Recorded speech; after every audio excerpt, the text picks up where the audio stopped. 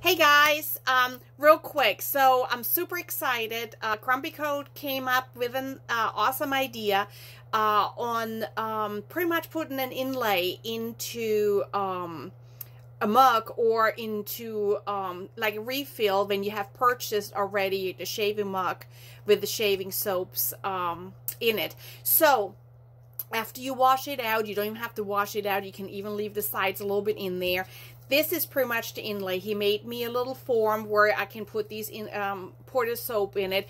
So you still have the same shaving soap as before with the kaolin clay with all the essential oils and the, um, the um, aloe, uh, aloe vera. Everything is still in there.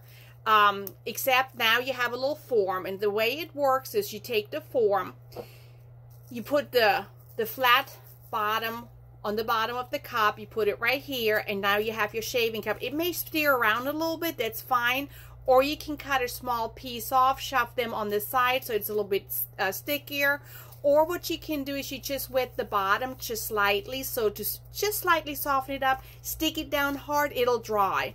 And then you have your shaving mug and you can start using it again. So this is just uh, a little idea for you guys um, that, that Grumpy Goat came up with that actually he is also now using because he does have a shaving mug. And so you can have a larger mug or a smaller mug, but this will fit perfectly in there.